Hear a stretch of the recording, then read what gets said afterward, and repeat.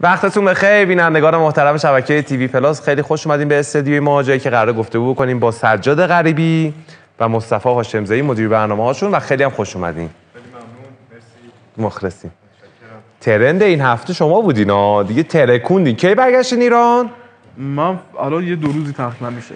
دو روزی. بله سجاد کلا تعریف کن قصه این فایته و اینکه چجوری خوردیم به مارتین فورد و حالا هواشی که پیش اومد.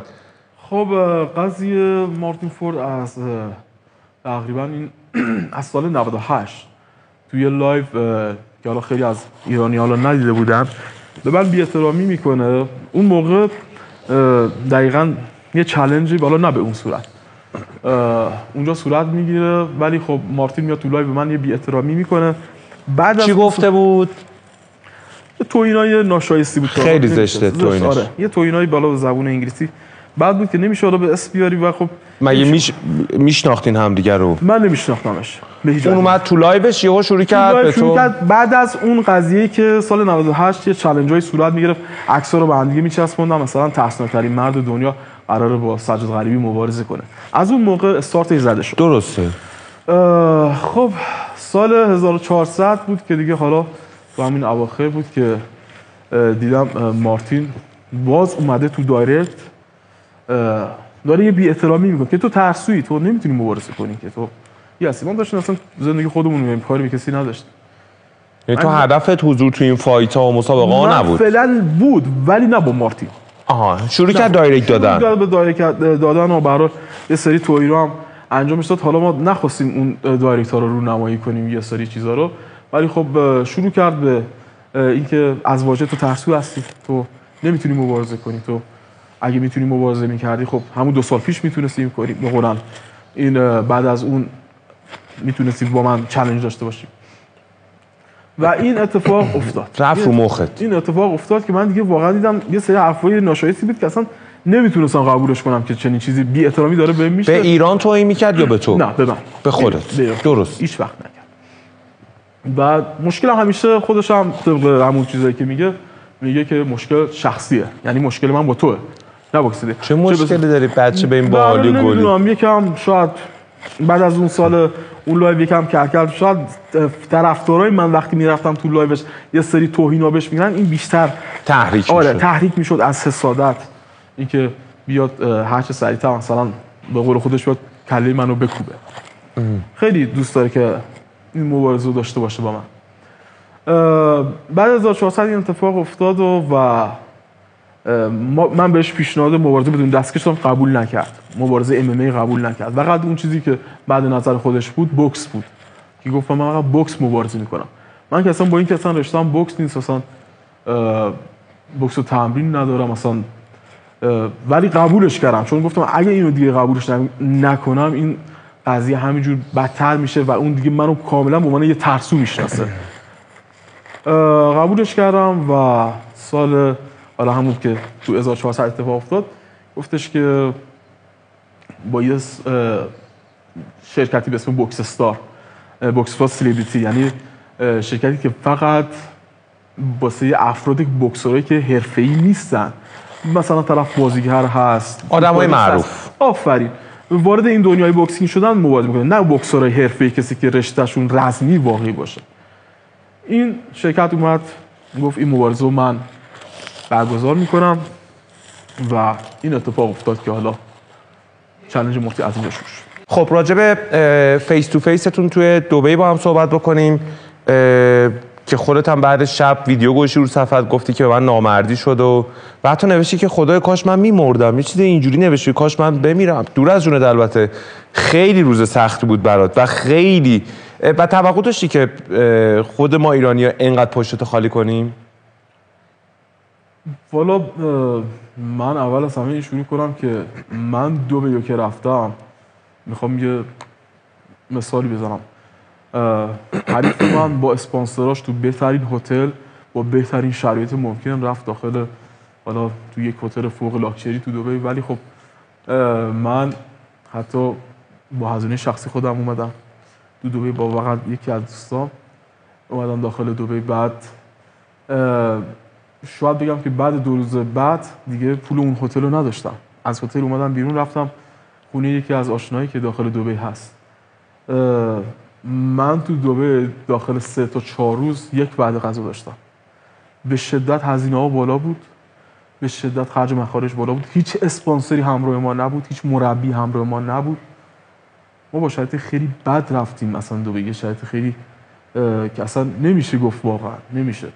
من تو اونجا واقعا بیمار شدم تو مریض شدم داخل خود دبی حتی زمانی هم که به خود سازمان هم گفتم گفتم نیاز به یه تأخیر دارم چون ما یک هفته زودتر رفته بودیم حالا به خاطر ناهماهنگی ناهماهنگی که انجام شده بود. درسته. یک هفته ما زودتر رفته بودیم دبی خب اونا اه، گفتن نه طبق قانون مقرر باید همون جمعه face to face باشه. موقعی که من تو face to face بودم خدا سر شاهده من حالا روز خوبی نداشتم یعنی دقیقا 11 ظهر اه، من دقیقا با دو عدد تخم مرغ فقط غذا خوردم دو عدد به عنوان صبحانه خوردم اومدم سر face to face. تو face to face که حریف من تو بهترین شرایط بود و, و بهترین وضعیت. خب موقعی که ما تو face to face بودیم مدیر بوکس استار اومد گفتش که میریم داخل face to face هیچ حرکت اضافی قرار نیست انجام بده. هیچ کاری نمی کنید شما به face to نزدیک میشید و یک دقیقه ازتون عکس برداری میشه. بعد اون یک دقیقه ازتون عکس برداری میشه من سعی می‌کنم که شما رو مثلا جدا کنم. هیچ حرکت اضافی قرار نیست. به اونم به مارتین هم گفته بودن. به مارتین اصلا هماهنگ شده بود که مارتین بعد از 8 ثانیه این کار رو انجام بده. ولی به من. گفته یه نوع تو هیچ حرکتی هیچ نکن. حرکتی نکن. من اگه می‌دونستم من دقیقا وقتی تو face to face بود همه می‌دونن. این دیگه به دیگه هر کسی که توی دوران fight هست باید می‌دونه اینو. یه کسی که میره واسه face to face وقتی ازش عکس برداری میشه پاهاشو موازی نمی‌کنه. وقتی face to face باشه فقط face to face خالی پاهاشو موازی می‌کنه. یه سعی می‌کنه ازش یه چند تا عکس برداری فیلم برداری داشته باشن بعد با حالت گارد وای میشه من بهم اعلام آمادگی رو نکردم که مثلا تو الان باید آمادگی داشته باشی چون امکان درگیری هست. وگرنه من پا پامو به صورت گارد باز می‌کردم. ولی خودشون چیده بودن که مارتین حمله کنه به بودن، تو. پشت منو کاملا خالی نگه داشته بودن. دور و بر مارتین و برای مارتین دیدید که داخل تو همون خود رینگ همه دوست آشناش کنارش بودن دوستاش رفیقاش کنارش بودن. من تنها بودم. من با هیچ کس هیچ کس نبود هیچ با کس با من تنها بودم. ای. تنها تنها. من تنها اومده بودم و مارتین با انبوهی از آدم از ورزشکاری دور و بر اومده بود. یه دور بر خیلی جالب بود که مارتین دیدم چسبیده به رینگ نمیاد جلوتر. استفان مدیر بوکس حساب به من گفت تو بیا جلو. تو بیا جلو چون مارتین به رینگ قشنگ چسبیده. تو بیا جلو face to face هیچ کاری نکنی. یک دقیقه. یک دقیقه فقط face to face دیدیم بعد 9 ثانیه یک لحظه یه به صورت خیلی ناگهانی یه هول داد. اصلا نباید چنین اتفاق میفته موقعی که من هول داد یه لحظه شوکه شدم. چون اگه من آمادگیشو بخواستم از قبل داشته باشم هیچ وقت یعنی خب- اصلا امکانشو نمی‌دادی که این بخواد این کارو بکنه. نامردی کنه نه، بهت نه. بده. گفتم به این بوکس استار این به یک شرکت حال بوکسینگ نمیاد چنین کارایی کنه واسه اینکه. دیدم کرد. ده تا دوربین اونجاست و فلان گفتم قضیه چقدر عجیبه. همون اول یکم مشکوک شدم بهش ولی فکر نمی‌کردم تا این حد. اینقدر ضعیف و بزدل باشن که بخوان اینجوری رکب بزنن این- اینجوری دور بزنن ورزشکاریو که اومده رو در رو. اینم تنها. من بدون هیچ مربی تنها کاملا. موقعی که من داد من خندم گرفت چند لحظه بعد از اینکه بلند شدم. اصلا هم حالت ولی شوک شده بودی؟ شوک شده بودم. اصلا گفتم تو؟ پشتی داشتی رقص پا می‌رفتی؟ دقیقا. گفتم منظور این کار چیه؟ بهش گفتم منظورتون چیه؟ این این چه حرکتیه؟ ولی واقعا شوک شده بودی. شوک بود. اصلا شوک, حقم داری. شوک بود. قرار نبود چنین اتفاقی بیفته. نامردا. داشتم می‌گفتم که این فیلم ها واسه چی بوده؟ اینا واسه این بوده که همون یه لحظه اون اون کلیپ گرفته بشه اونقدر ولی گوش نمی‌دادن دیگه. نمی‌دادن دیگه. کار خودشونو کردن. آره امتیازشون گرفتن. من همون موقع فهمیدم داخل چی افتادم تو چه. بازیه. آره. بعد تو پشتی تو حمله کردی حالا. آره من اومدم موقعی که حمله کنم دیدم چند نفری دوره من اپوش گرفتن. دقیقا اونو نشون نمیدن حالا خیلی از تو فیلم ها نشون نمیدن. یکی اینه که استفان داره منو از سمت راست هول میده. یکی اینه که مارتین باشو گرفته عقب داره منو می‌کشه پایین. یکی اینه که یکی از کسایی که حالا رفیق ما مشترک ما بین ما دو تا بود اونم گردن منو از پشت گرفت.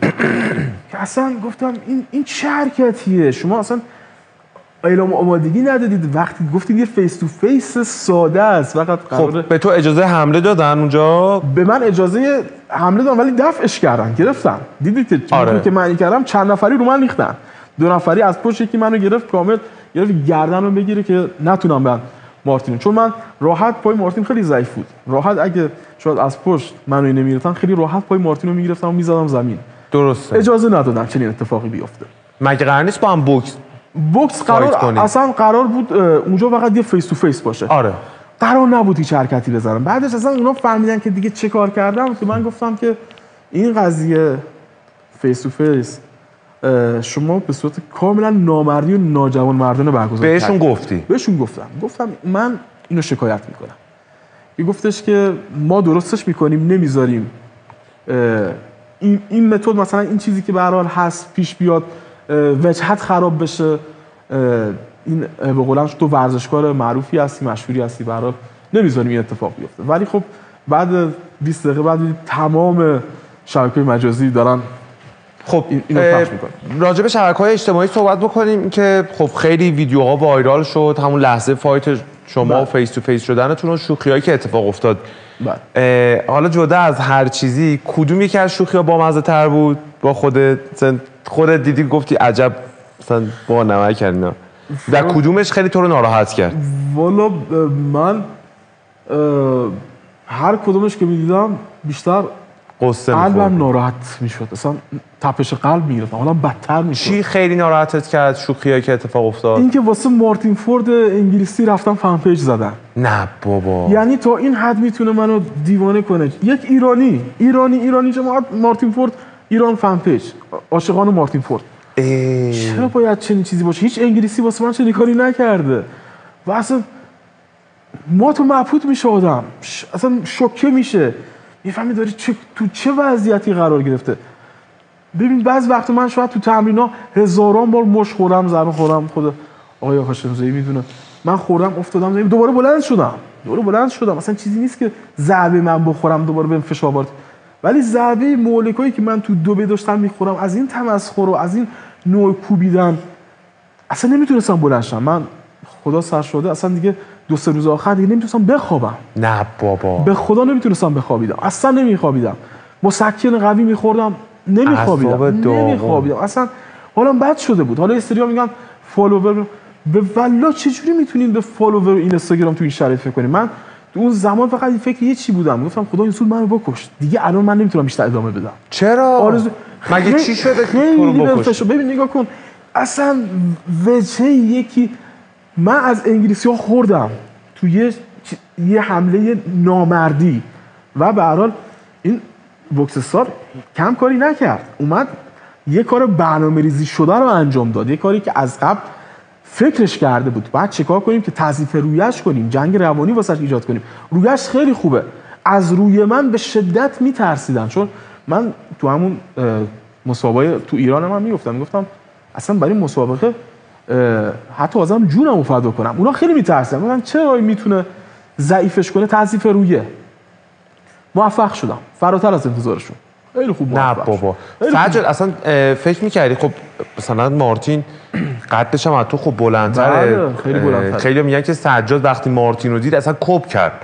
که مثلا هیکلش و قدش رو دید و من موقع که من مارتینو دیدم اصلا رفتم تو سینهش من رفتم تو چش تو چش باش شدم. اصلا به چنین چیزی نبود. اصلا به فکر نمی اصلا فکرش هم نمی‌کردم که مثلا بخوام اه، مارتین مثلا عددی باشه چیزی باشه. من جز خدا از کسی نترسیدم تا حالا. یه. سریال نوشتم کپ کرد یه سریال. قشنگ باش تو face to face شدم. خیلی تازه اون یه جا وایساده بود من بهش نزدیک شدم. من بهش نزدیک شدم. حتی بهش با به صورت حالا نه اسپیر نمی‌تونستم اسپیر رو از راه دور بهش بزنم. ولی سعی کردم بهش اتک بزنم. سعی منو دفع کردن چند نفری از پشت منو گرفتن. ولی من تنها چیزی که فکر نمی‌کردم اینه که بخواد این ترسناکترین مرد دنیا باشه. یعنی واسه من نیست؟ واقعا؟ نه. به خدا واسه من نیست. بابا ماشاءالله. اصلا نیست. به یه فرد حالا شهر قد بلند ولی باز اینو میگم به شدت قدرتمنده. قویه. حریف نمی‌دونم در پیتی نیست. آدمی نیست که مثلا ضعیف باشه. من, من همیشه حقیقت میگم. ضعیف باشه یا مثلا به شدت اینه چون اسپانسرهای فوق العاده خوبی داشته کمپای تمرینی که داره. نه تا اسپانسر داره حتی نسبت به دی ای که داره داره استوری داره بهش تزریق می‌کنه. تو قانون بوکس استوری ممنوعه. ولی مارتین فورد اونقدری واسش عزیز اون بوکس حساب واسش عزیز هست که می‌خواد ببرتش سطح بالا. استوری رو واسش آزاد کرده. روزی 8 میل تقریبا داره تزریق داره. نه بابا. خیلی این تو نداری من؟ من حاضرم آزمایش خون بدم. هیچ استوری استفاده شد خیلی نوشته بودن که بابا این کجاش مثلا هالک بود و اینا. حالا دید قطعا خودتون هم دیدین دیگه تو شبکه و. کامنت هایی که می‌ذارن. بله. کجاش هالک بود و اینکه عکساش فتوشاپی و ویدیوهاش الکی بود و دقیقاً. قصهش چیه؟ یه تفاوت عجیبی. ببین اشخاصی که follower ای قدیمی من هستن درست. اشخاصی که منو از قدیم می‌شناسن live های منو دیدن. فیلم های منو از قبل چون من در زمانی که حالا تازه تو اینستا بودم و اون موقع وزنی داشتم وزنم خیلی بالاتر بود منو دیدم به هر شاید اون موقع فکر می‌کنم 200 هزار نفر 180 هزار نفر فالوورای من بودن. قدیمی هم همشون. بخوام یه نظر سنجی کنم که سجاد غریبی چجوری وزن کم کرد. اینا کاملا می‌تونن گزارش بدن که سجاد غریبی ذره ذره وزن کرد.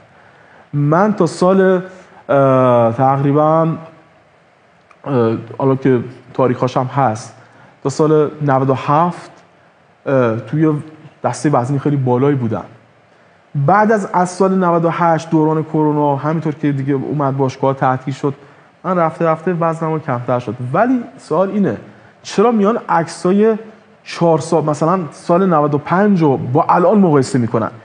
یه سری پیجای زرد یه سری رسانه‌های زرد میان مقایسه می‌کنن. در صورتی که من ویدیو گذاشتم. از سالهای خیلی قبل ویدیو که دیگه نمی‌تونی شما نمی‌تونی. فتوشاپش کنی دیگه. آره من دیگه. ویدیو گذاشتم لایوهای من موجود هست حتی بعضشون داخل یوتیوب نمی‌تونید اینا رو ای کنید من حتی خود آقای آشمزهی می‌دونه من لباسایی که میپوشم حتی همین لباسی که برای بنده هست خودم پوشیدم 7 ایکسه موقعی که من توی وزن بالا بودم اصلا این لباسا جذب من بود این لباسا تصمیم گرفتی که وزنتو کم کنی. تصمیم گرفتم واسه دنیای رزمی هم که شده چون چند تا مسئله داشت. یک اینه که برای هر ورزشکار سنگین وزنی که حالا شما برید در نظر بگیرید ازش بپرسید.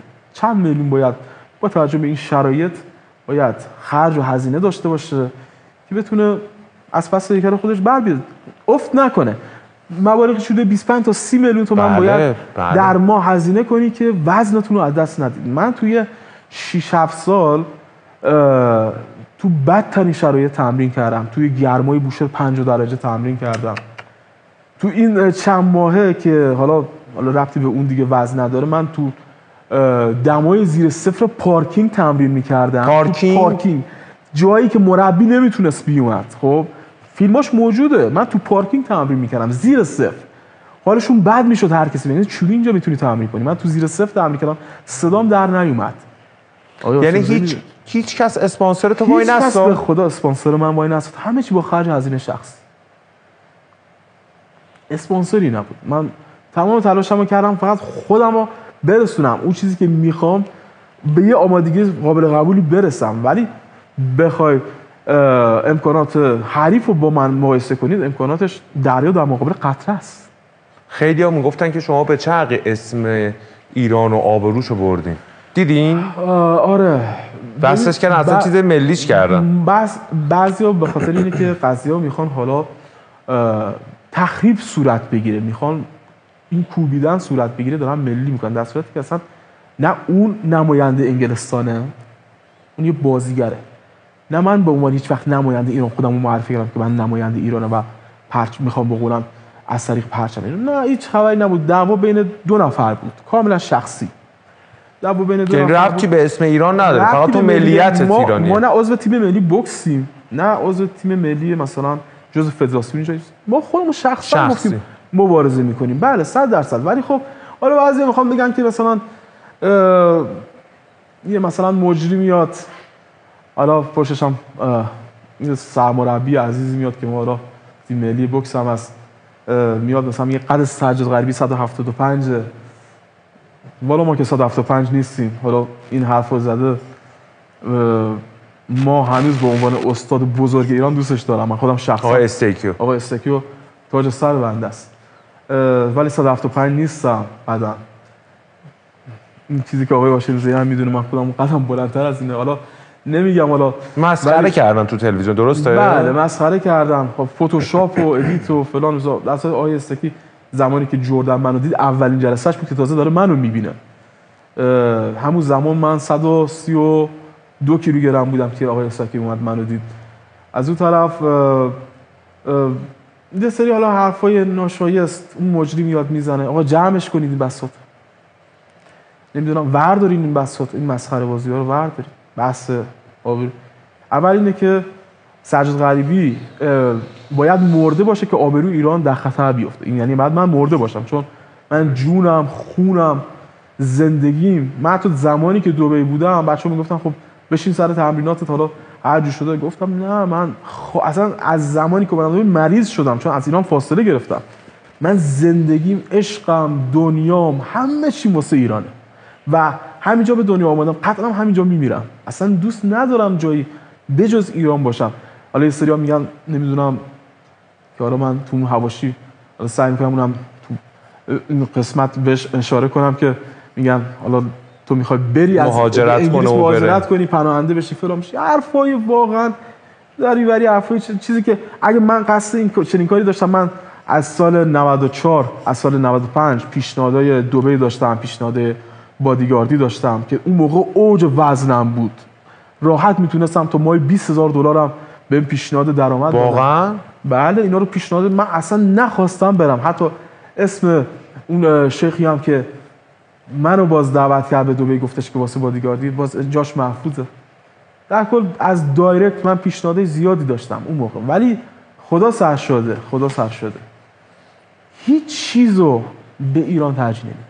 ایران قلب من. حتی با, با این همه کامنت و شوخی همه- و با این همه با این همه ای که شوخی تخریب کوبندگی خیلی نوشتن. بعد محاکمه کنید سجاد غریبی و. محاکمش کنید آبرو ایرانو برده. خیلی ها اینو نوشتن. خیلی ها اینو نوشتن که تخریب کنید فلان کنید خب بزنینش زمین فلان کنید. پول گرفته بیسا گرفته. خدا خدا خودش شاهده که من تو یک دلار از کسی نگرفتم. من اگه پول گرفته بودم که الان اینجا چیکار من با اسنپ اومدم اینجا.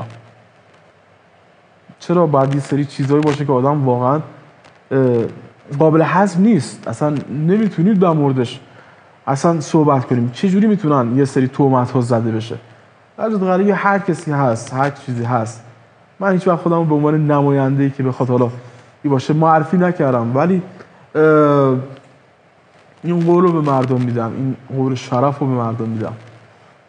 اگه انشالله زنده موندم با این شرایط روحی وضعیت بدی که می‌بینم واقعا فکر نمی کنم حتی شاید تا چند روز دیگه حتی دووم بیارم چون خب.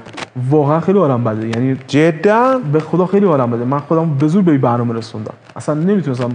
آقای هاشمی می‌دونه من شب تا دیشب تا صبح نخوابیدم. حالم خیلی بده. اینقدر اعصاب تو خورد اینقدر اصلا نمی‌تونم بخوابم. همین چند ساعت- نامردی کردن. آخه یه ویدیویی هم سجاد اومد بیرون که کنفرانس خبریه و شما دارین بعدش میخندین و گفتن بیاین. ببینید اینا دستشون با هم. توی یه کاسه است و خندیدن و همش شو نمایشه. آره.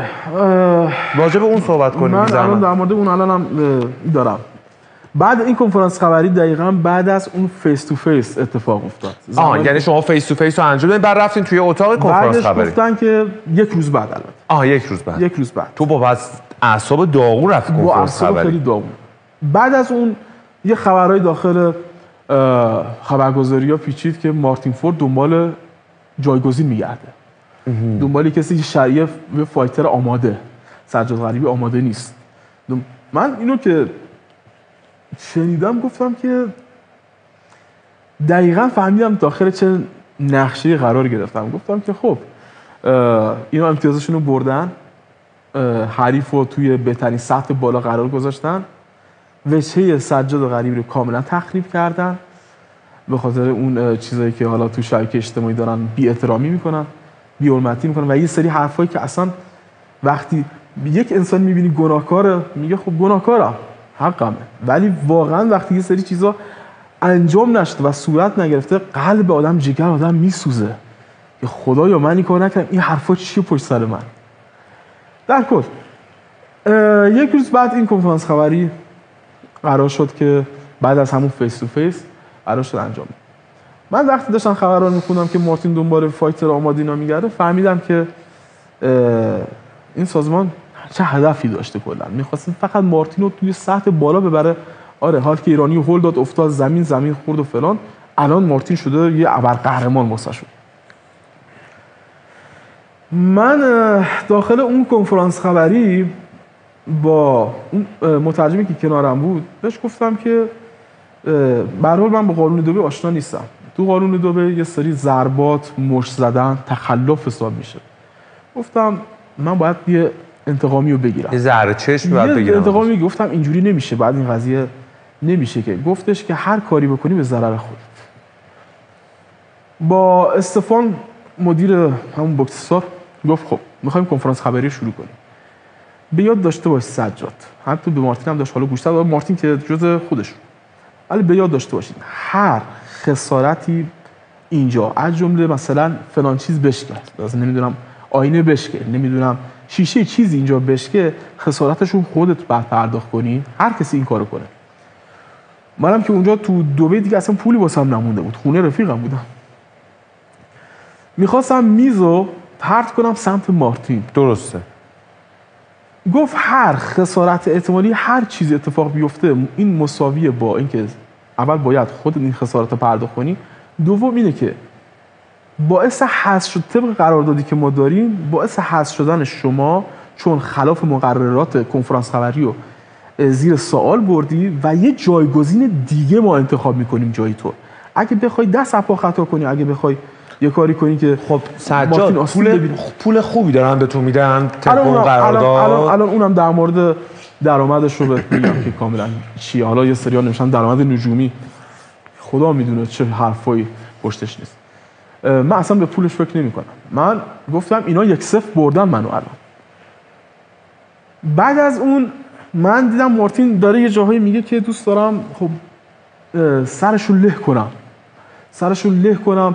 نمی‌خوام در مورد کنفرانس دیروز صحبت کنم چون چیزی نیست که ازش افتخار داشته باشم و اینا. سی دقیقه صحبت داشت می‌کرد یه سری اراجیف هم داشت می‌گفت که من خیلی دیگه داشتم اصلا خود میشه گفتم چیه می‌خوای fight کنی اینا؟